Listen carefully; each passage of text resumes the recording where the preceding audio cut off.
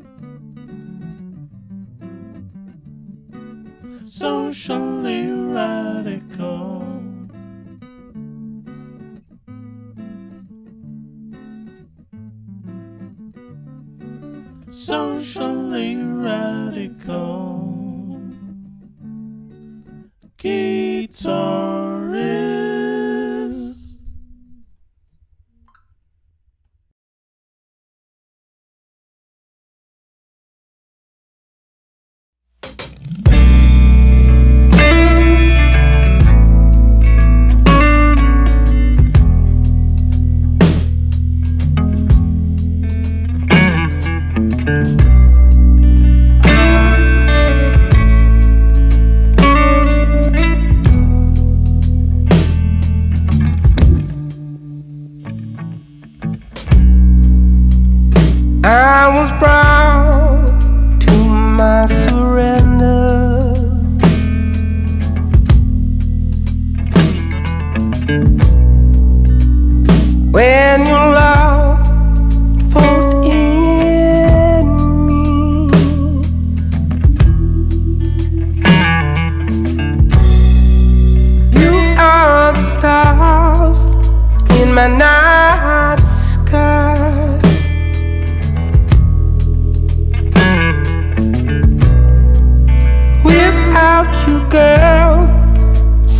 sail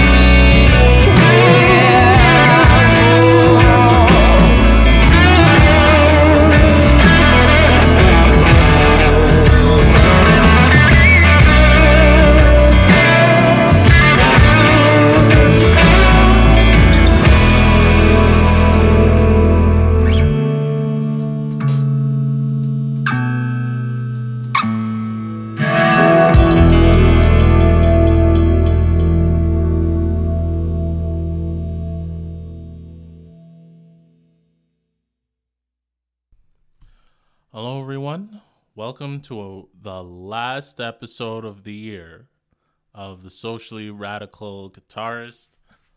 Um, song you heard just now was from George Leach, uh, called "Surrender," and the album is also called "Surrender." So it's an eponymous named album for that particular song.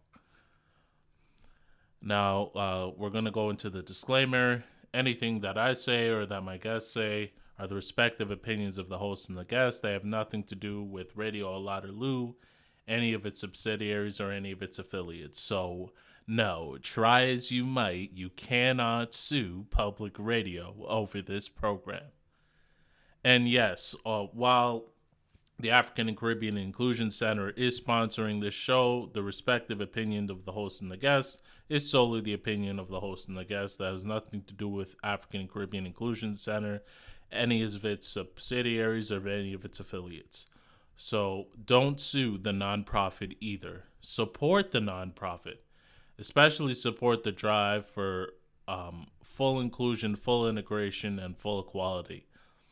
Um, we partnered uh, with um, the uh, multicultural Christian organization. We've um, we're trying to make sure that when refugees are integrated into the country, they're treated as equals. That the education that they acquired when they were home doesn't just go away. That um, the skills that they brought here are used and um, treated fairly equitably and that they're as fully aware of their rights as every other uh, as every citizen of this country. So please support and please support that drive uh, to make African and Caribbeans in particular and newcomers in general equal, fully equal. Now, um, we can add to the long list of egregious crimes by this government against the indigenous community. And, and another uh, egregious crime is failing to promote George Leach. The bourgeois control of media propagation has shown that it is outright reactionary. I mean, this beautiful, amazing track doesn't get airtime on CBC or the other networks, doesn't get promoted. Um, all I see it is on a Spotify play, 2000 a month listens.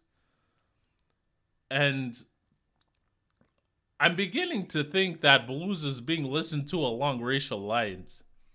Um, not very well promoted uh, in, in Canada. Um, uh, talking about uh, Arian Posen, white musician, only getting like a hundred thousand or so views. Um, John Mayer, um, he was he was lucky in that uh, it was in the U.S. and he got famous around 2003. So it was it was around the time before the degeneration period.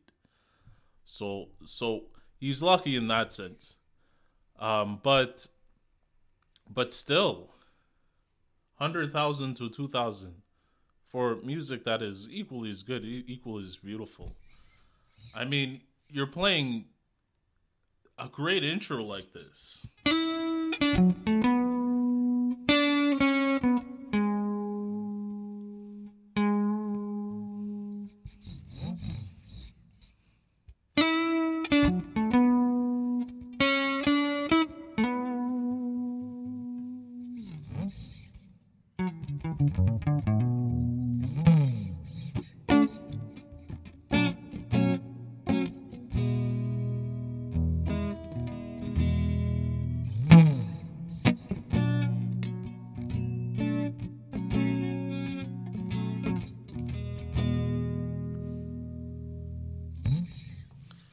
That's not even the best part. A beautiful bridge.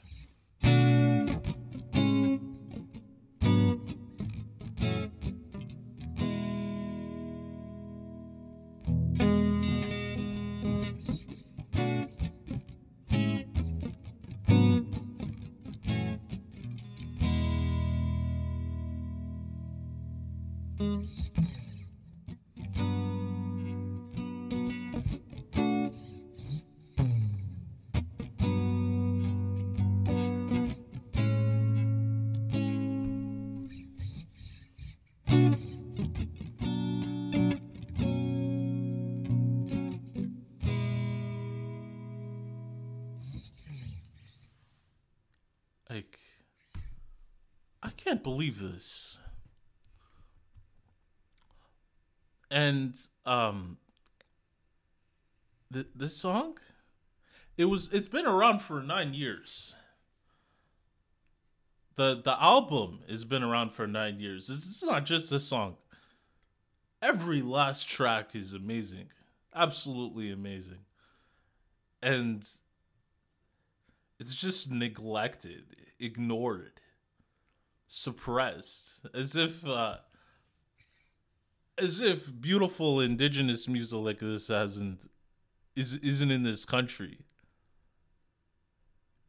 Um, when uh, every now and then they remind you that they're still here with uh, mass protest. Um, and and the Canadian government is forced to reckon with the fact that they haven't finished them off. But uh, when when they're when they're around making beautiful music like this, they're they're just conveniently left ignored and and put into the back back burner. I mean, this is unbelievable stuff. Unbelievable stuff. I, I can't I can't reckon with this. This is just unacceptable. A beautiful beautiful track like this ignored. And you want to go into the holidays feeling good about yourselves, your families, white people? You want to pretend that the genocide isn't ongoing and it's actually being done in your name because that's the ideology of this country. White supremacy.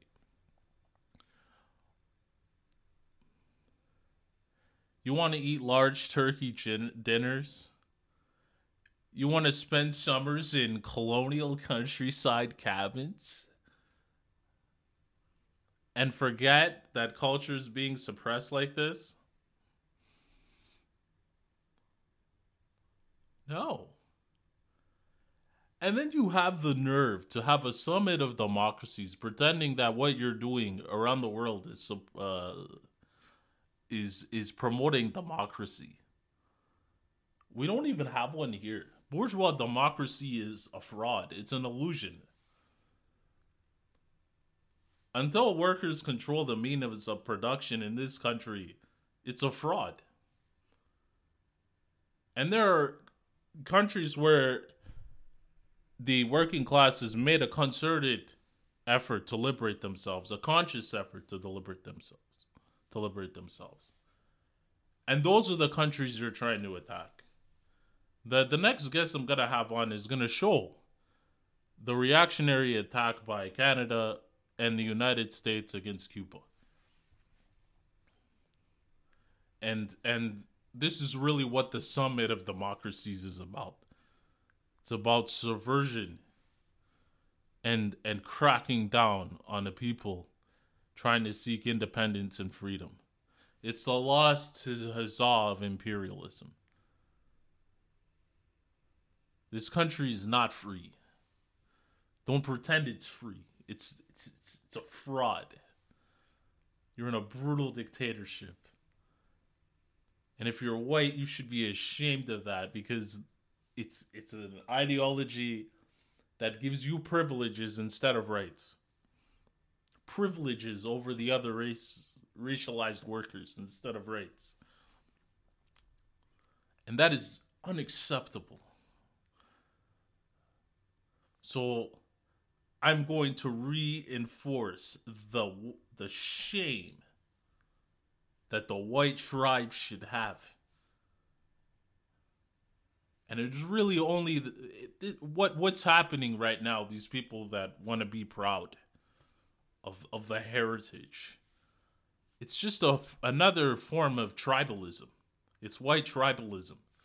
It's the same thing that you see when when Tutsis will will rise up and defend Kagame no matter what he does. No matter what what token gestures he gives to the Tutsi working class. It's just tribalism. And the ethnic group isn't even real. Uh, Hutus and Tutsis have been intermingling for, for generations. And even before that, really, it's only a Bantu ethnic group. Even the Tutsis are really just Bantus mixed with uh, with Arabs, and that's been the case for for for millennia. The, the people have been traveling around the continent for generations. And these tribes are really nothing more than the figment of a European tyrant's imagination. But but the tribalism is there. And the reason why you could teach it is because it's here. This is tribalism trying to justify this. This genocidal state and to justify the foreign policy. And you want to go into Christmas proud of yourselves? Celebrating? No.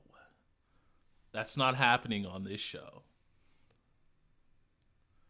We elevate the oppressed nations and give shame to the oppressors oppressor nations. And that'll be how the proletariat of this country as a whole will have unity to achieve a multinational, truly democratic socialist state. That'll be how it goes down.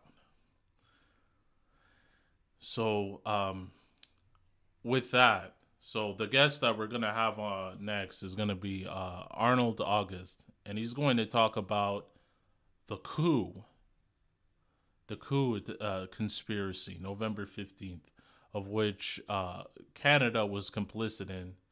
You have like Rabble and all these other left-leaning outlets trying to justify a coup on a workers' government while you pretend to be representing workers here.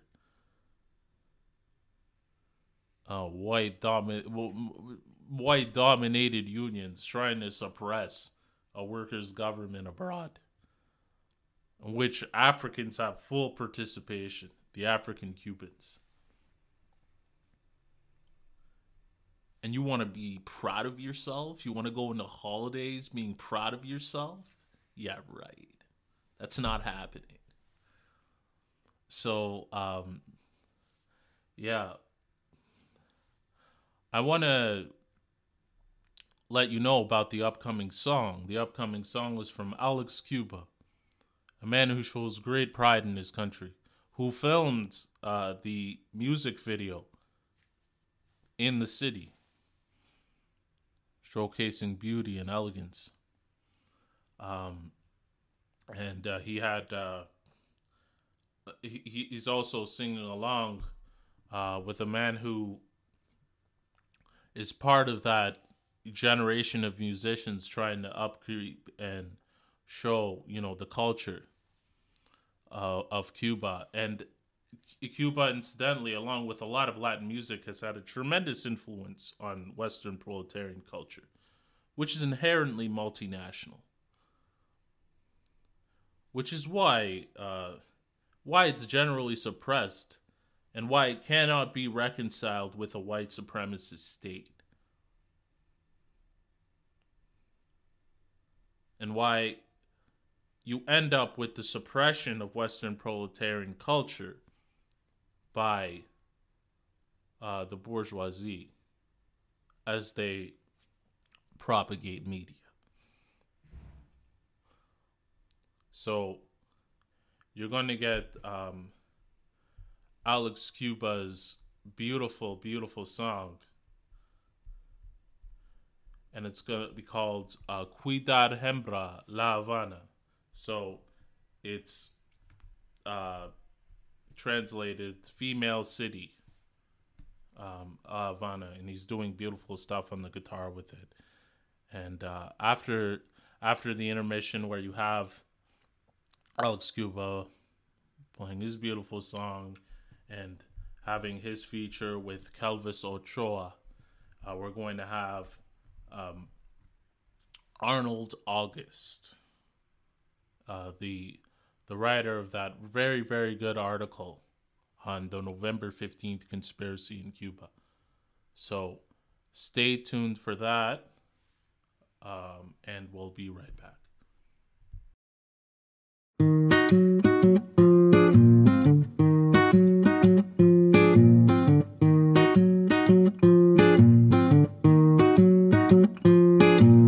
Ay, en La Habana y en cualquier lugar. Se lleva por las apariencias, quien esconde toda la inocencia, quien no aprende a respetar más de lo que alguien te pueda decir. Solo júzgalo con tu experiencia. Que mirar la vida si te enseña que las luces al brillar están buscando el ojo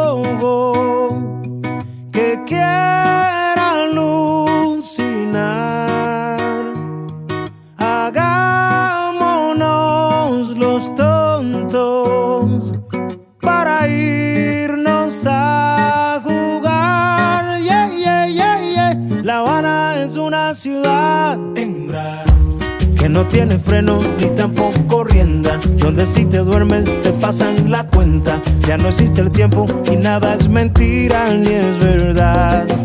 La Habana es una ciudad que no tiene freno ni tampoco riendas, donde si te duermes te pasan la cuenta, ya no existe el tiempo y nada es mentira ni es verdad. Soy el misterio de una realidad no quiere que nadie comprenda, que no deja nunca de dar vueltas, que no se puede parar. Más, siempre encuentras cuando buscas más. Si le das un chance a la conciencia, si total lo entienda quien lo entienda, si tú sabes que al final están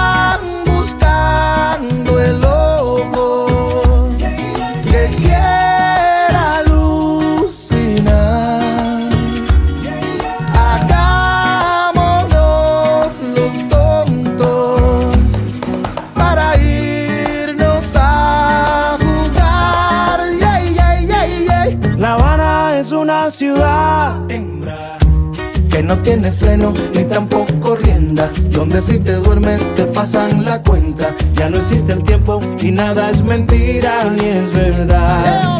La Habana es una ciudad hembra que no tiene freno ni tampoco riendas, donde si te duermes te pasan la cuenta. Ya no existe el tiempo y nada es mentira ni es verdad.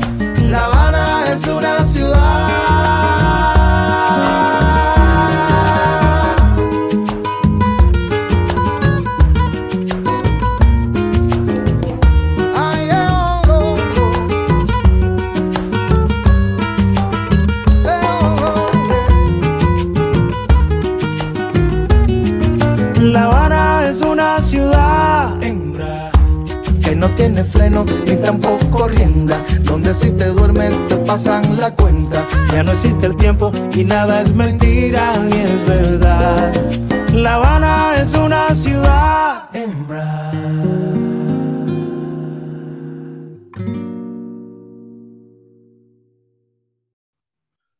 Hello, everyone.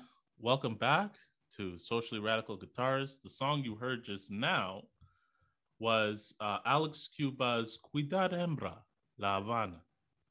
Very beautiful song. Um, he does so much just with the acoustic guitar. He has tremendous proficiency, tremendous skill. Um, a great contribution to Western culture by the Cubans. Remember that. So um, we have uh, um, the last guest of the season of the year, um, Arnold August. Um, Arnold August uh, was like uh, he's a, an, an interview like a he's a journalist that's been on many uh, many different platforms and uh, uh, some of those platforms include Press TV, um, includes the Canada Files, of course, is a contributing editor. Um, he's been on uh, Telesur, and uh, he's an author of three books on uh, Cuba, U.S., Latin America, Cuban, and he's uh, been awarded journalist. He's gotten the Cuban uh, Union of Journalists Awards. So, uh, welcome, Arnold. How It's a pleasure to be. It's a pleasure to be with you. Thanks for having me, Chris. So um, we're going to get into um, a very, very, very uh, juicy article Right. um, um, on basically this uh, November 15th conspiracy. Right. And uh, um, the one thing uh, uh, that that kind of really stuck out to me was um, that it it really exposes the the lie of this being uh, peaceful protests very very clearly. Um, can you get into at least some of the most suspicious figures um, orchestrating this uh, this basically coup attempt uh, in Cuba? Yes. Uh, thanks for taking the time to patiently read through that whole article. Just to provide you some background, uh, what happened was that uh, uh, some of the coordinators of this Facebook group, Archipelago, made a formal request to local municipal assemblies in Havana and other cities. And based on quoting the Cuban Constitution, Article 56, they said, we have the right for a peaceful demonstration. Very nice. But they did not quote the first, the other part of that very same Article 56, where it indicates very clearly people have a right to demonstrate peacefully as long as it is in respect uh, for, for, for uh, order and the rules of the land. And of course, Chris, they never touched Article 4, which says that the socialism in Cuba is irreversible. It cannot be, it is, it cannot be overthrown. Now, some people might say, well, that's pretty arbitrary. You know, the Cuban government says that socialism is irreversible. Well, not quite uh, arbitrary at all. In fact, in 2019, the uh, Cubans uh, had a, a, major consultation to update their constitution. Uh, and 80, and this includes this um, article saying that socialism is irreversible. Now, eight, over 84% of the people voted in the referendum on the Constitution 2009, 19, and of that 84%, more than 86% voted in favor of it. So one can safely say that the vast majority of the Cuban people support that Article 4, while the uh, coordinators archipelago, uh, archipelago was uh, uh, to go against that. Now, with regards to now that we, you know, when I saw this request that they made and how why it was refused, and they made it on behalf of the, this Facebook group, talking about their interest in a peaceful demonstration. So I said, I have to get into that Facebook group and really see what it's all about. Is it true? Is it peace? Is it true that it is peaceful? Do they have peaceful intentions or not? So I took a chance and I applied to become a member of that closed Facebook group. And to my surprise, I was accepted. I don't know how I got through. Perhaps on my, I looked at the profile on my Facebook uh, page, and I have, you know, my book's called Democracy in Cuba. So oh, they might have said, "Oh, this guy's with us. He's for democracy in Cuba, like we are for democracy in Cuba." But my democracy in Cuba is not quite the same. But in any case, I got in and I really dealt. It, it, was really important. I'm glad that I did it. And uh, uh, just to give you an, an idea, uh, first thing is uh, you mentioned the issue of violence. Now, in that Facebook group, there are innumerable indications that far from being peaceful, they are in fact very much in favor of violence and chaos in Cuba. For example, in that in that Facebook page, you have images of cars being overturned, people taking selfies with cars being overturned. They also have images from Venezuela uh, several years ago when the pro US forces in Venezuela organized what they called guarimbas or burning barricades in Caracas uh, in order to overthrow the Maduro government, far from being peaceful, right? And also, I noticed in that Facebook group, it was just not just November 15th. It was an ongoing thing. So we're going for November 15th, but this should take place every week, every month. They're looking for ongoing chaos in uh, Cuba. And on the issue of blockade, very interesting. At one point, the American uh, Joe Biden said that he's going to impose uh, more sanctions against uh, on Cuba, against Cuba because of their repression in, in, in Cuba. But the, this, these guys, they were not satisfied. But you have to do more than just as sanction individuals. You have to hit hard with more sanctions on the whole Cuban economy, etc. Is that peaceful? You know, asking Biden to increase the sanctions over and above what Biden is suggesting as far as sanctions are concerned. And uh, you know, uh, so the the many uh, there are many uh, graphics, photographs of confrontations depicting perhaps confrontation between the people on the one hand and the police and military on the other hand in Cuba. And then there are very uh, violent uh, calls, you know, down with the dictators and down with Fidel. I mean, just one thing, they, they, they're, uh, the way they uh, ridicule and, and, and mimic and, and, and uh, smear Fidel Castro, I tell you, Chris, this is worse than what I had seen in Miami. My, Miami Herald does not go so far as this group in terms of maligning Fidel Castro.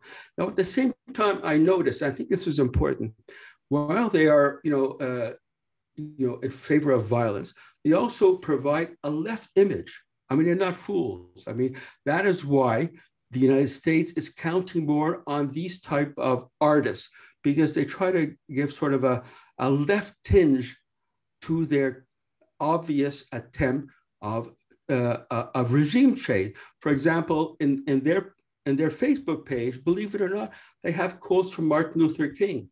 They even have a partial quote from Fidel Castro where he says, uh, uh, we have to change everything that has to be changed. But of course, they left out the first word that in revolution, we have to change anything that has to be changed to safeguard the revolution. And then you have the, uh, you know, uh, uh, definition, the uh, confrontation uh, with police. Uh, interesting to note that uh, that with regards to this left tinge, like uh, the leader, the coordinator, this Yunior Garcia, who is now in Madrid, Madrid, in an interview with the Miami Herald, he said openly, I am appealing to the left in the United States, Canada, all over the world, including in Cuba, to support us.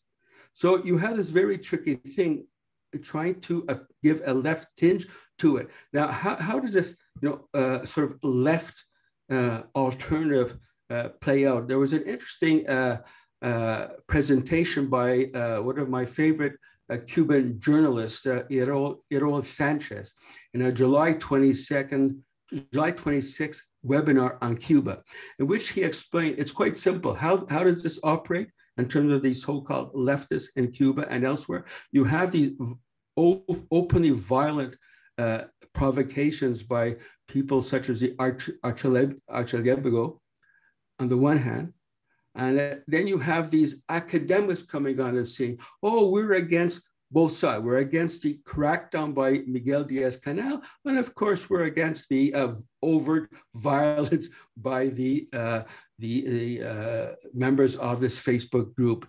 Both citing everything, but the main message that they provide is that the the opposition to Miguel Diaz-Canel and, and the Cuban government is, is, is valid. It's valid. You know, so you have this a very uh, complicated situation. Now, in addition, I noticed uh, the, in that Facebook page, there is a lot of emphasis on color revolution, you know, the peaceful color revolution, so-called, and it's based on the 1989 color revolution in Czechoslovakia.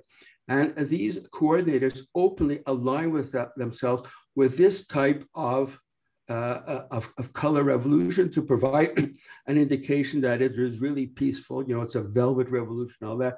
So you have this mix of open violence, calls for an increase in the blockade, uh, being very violent in opposition to the uh, Cuban leadership, to Fidel Castro, to, to Miguel Diaz-Canel, obvious in favor of regime change. And at the same time, they are trying to, and to a certain extent, Chris, I have to say, successfully influencing some people in the left, for example, United States, Canada, and elsewhere, to support directly or indirectly this color revolution regime change that was being led by this Facebook group. So it's, it's a pretty complicated situation. And go ahead. Yeah, um, I I was uh, I was I was kind of shocked to see like they, you know, you quote when you quote Martin Luther King, um, a man who was assassinated by the government you're seeking to get support from. It kind of lays bare what you're doing, and the color revolution in Czechoslovakia was anything but peaceful. Exactly. Fact. And the U.S. bombing it and bombing whatever was left of that country tells you everything that you need to know. Um, I want to get into um, a very interesting aspect that um, the people that the archipelago were um, were interacting with um, were actually registered terrorists, according to the U.S.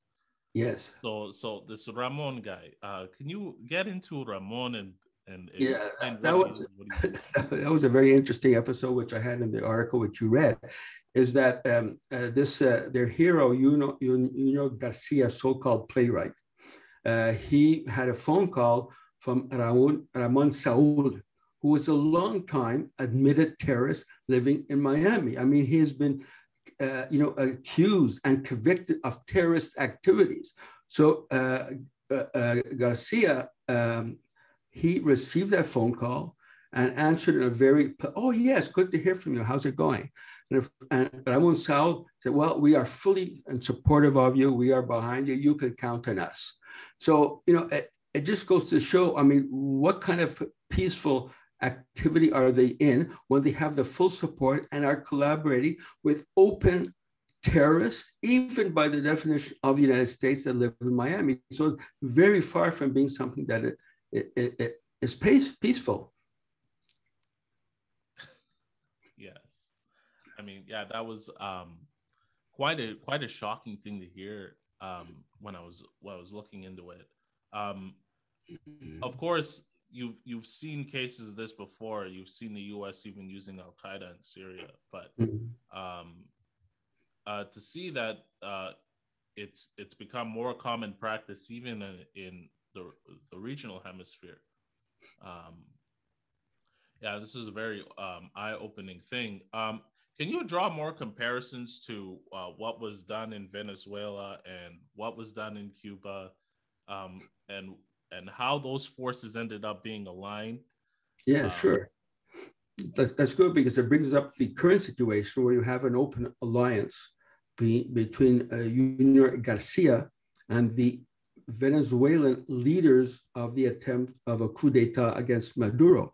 What happened in Venezuela is that after the elections of, uh, uh, of uh, Maduro, the agents of the United States, all you know, in favor of uh, using violence to overthrow overthrow Maduro, set up barricades in Caracas, uh, and very violent incident, incidents took place.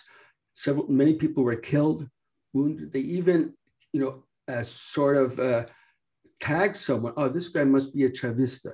You know, and in addition, he was a black Chavista. They just burnt him. Just for they burnt him, okay, to death. Now the point is that this this type of activity is is, is showcased in the Archipelago Facebook page.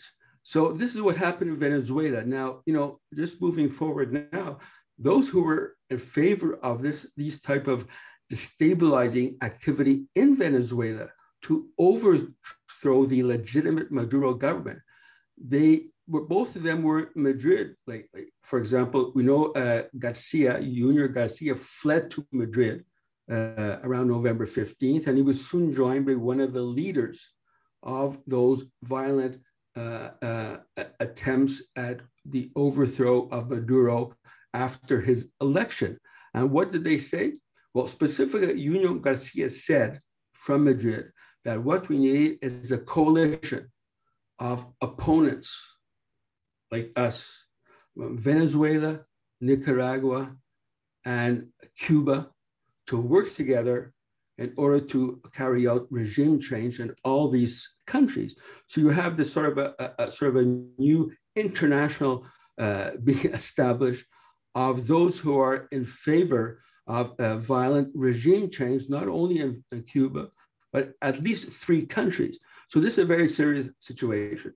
Now, the thing is that the, on November 15, as a result of the massive uh, activity by the uh, Cuban government, grassroots organizations uh, at, in the neighborhood level, the, the, the, it never got off the ground. No one ever showed up. So this is a very complicated thing. I'm working on this now. Why did it fail? I hope to have another article in a couple of days on the real nature of why it failed. Of course, it, it failed. Of course, the uh, buzzwords are often used. Oh, it was repression, suppression, arbitrary detention, etc. But that is not what caused their failure. It's something else, which I will be dealing with in my next article. Wow, wow. Um, can you uh, get into the uh, complicity of the Canadian left?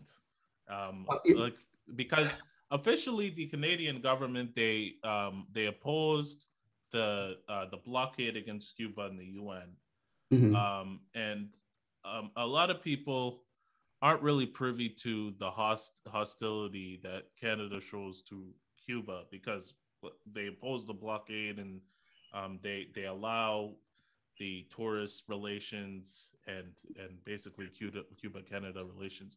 So can you get into that and the complicity of uh, left leaning articles like Rabble, etc., in in um, being the left that opposes the government?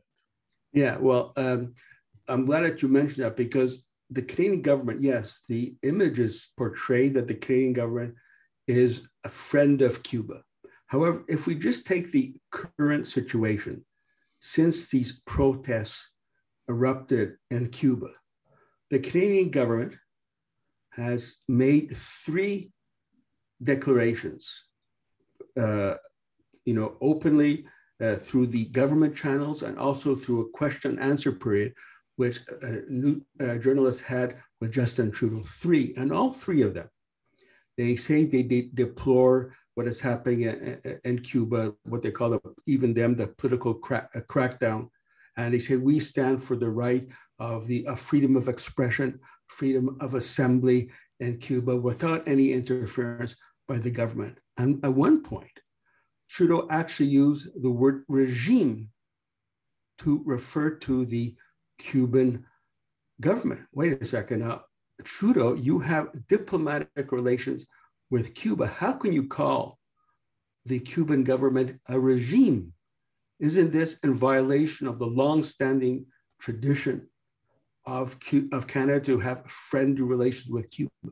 Now, this uh, wasn't a slip of, of a tongue. I mean, it was a specific um, uh, word that he used was picked up perhaps by one of the most right-wing journalists writing for CBC, who said who wrote in an article about July 11th, just threw this out and Miguel Diaz-Canel, the unelected president of Cuba.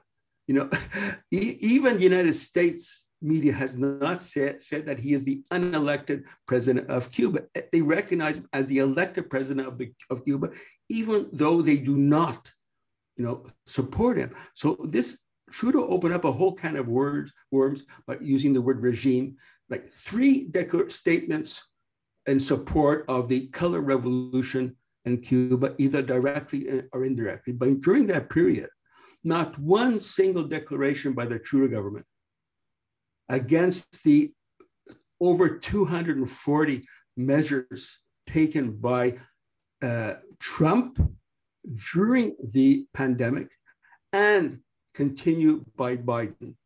Uh, you know, these are really, uh, these uh, uh, um, measures are wreaking havoc in the Cuban situation, economy, and society. But how come he had nothing to say about that, but only to be critical of the Cuban government? I mean, at one point, the uh, Marc Garneau had a, a, a call with the, uh, his um, his vis-a-vis uh, in Cuba, uh, Bruno Rodriguez, and Marc Garneau said, "Well, we are concerned about the political crackdown in Cuba and all that." But you know, he, why doesn't he go to Trump or now Biden and say, look, we are concerned as friends of Canadians about these uh, uh, these sanctions that are being imposed by the United States more severe than any other uh, administration since 1960. Not one single word against that. So I agree with your with your evaluation. It, you know, Canada is in an indirect or almost direct manner in co- complicity with the United States. First Trump and now Biden in increasing the uh, sanctions and pressure against the uh, uh, Cuban government. And I think Cubans, uh, Canadians are not aware of it. It's being kept from them. I mean, the, the, the image is being portrayed that Trudeau is a nice guy. He's a friend of Cuba because they it, the his actual statements with regards to the color revolution in Cuba sort of kept aside under the rug in order to to continue to portray Trudeau as a friend of Cuba, which he is not. Oh, definitely. Um, so, um, yeah, I, that's that's pretty eye opening to see. Um, for any liberal out there still listening to this, um, mm-hmm. it's time for you to convert. Uh, I converted a while ago after Libya, but um, uh, you should you should really open your eyes and see what's going on. Um, yes.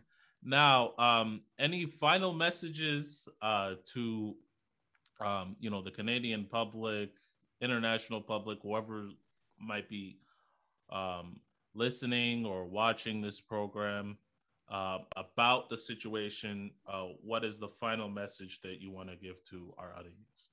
I think the most important thing, there are many, the most important thing is for people to be wary of the notion that these are peaceful demonstrations that were supposed to take place in November and that, that are being inevitably planned for later on.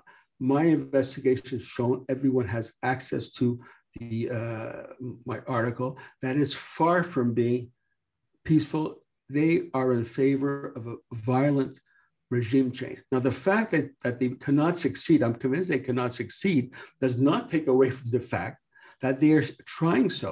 And this is very unsettling for the Cuban government, trying to deal with the pandemic, the, uh, the uh, increased measures of the blockade, the economic crisis, and at the same time fending off these attempts, even though they inevitably, invariably will be unsuccessful, fighting off these attempts to foment chaos and, uh, and, and violence in Cuba. So the most important thing to remember that these are not pacifists, far from being so. They are really in favor of violent regime change in Cuba.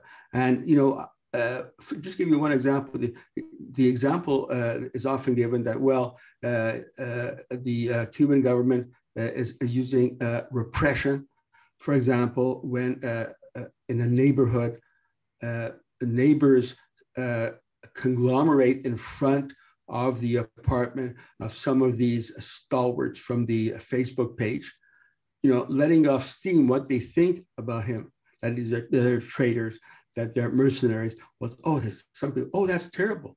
You know, I don't think I don't think that's repression. I think that I think that's liberation they are Cubans are, are rightfully venting their sentiment uh, in favor of uh, what they have accomplished, in favor of their revolution against those people without any principle as mercenaries of the United States, trying to overthrow everything that has been accomplished since 1959 to date.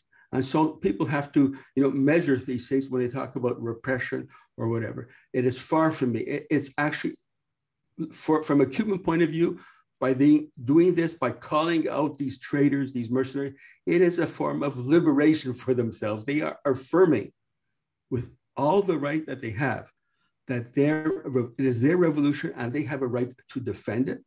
And this was even uh, uh, uh, affirmed by the uh, uh, vote in the Constitution 2019. Excellent final statement. Um, now we're going to be closing the show with uh, uh, a song that uh, Arnold August picked. Um, it's from you know a pretty embarrassing period of my life, but um, he he thought it sounded good. So what's the name of the song, uh, uh, Arnold? Well, I don't remember, but I let you introduce the song. Oh, okay. okay. Was made of fire. Oh, right. How could I forget? Yeah, right, right, right. Made of fire by uh, the magical bunch. Uh, so um, we'll be doing the outro. Listen to Made of Fire from the magical bunch, and then that'll be the end of the show. Uh, we'll see you uh, next week.